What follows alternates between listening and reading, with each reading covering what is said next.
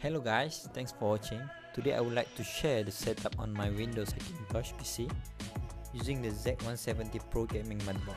First, I did not install my Hackintosh in the same SSD on my Windows, but I purchased a SSD that very cheap on Lazada around 300 ringgits only. So I do clean Hackintosh installation in that SSD. So better you buy the SSD and do the clean installation on it.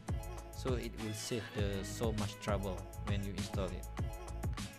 Then secondly you need to create macOS Sierra USB boot disk installer but you will need a MacBook device to create the USB if you don't have one don't worry you just need to find or borrow it from your friends.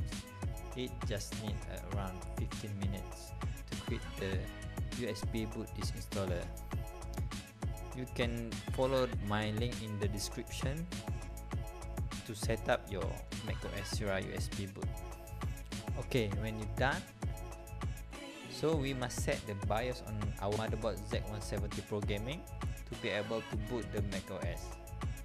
So as you can see I already did it and that is the list of it. You just need to find it and change it. I'm very lazy to do the video now because I don't have enough device to record my machine. Okay then. You ready to install the macOS Sierra on the new SSD just follow the step in the link that I give.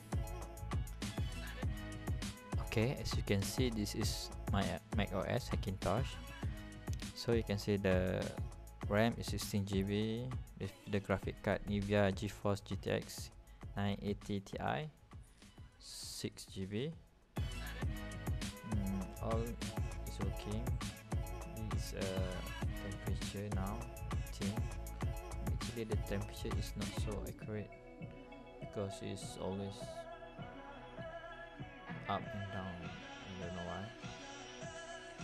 Mm, the iMessage is working is working so I'm very happy. Uh, you can see the display is working storage memory. So this is my Mac.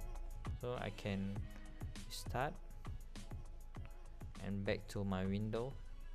Then if you have any question just ask in the comment below. Thanks for watching and please subscribe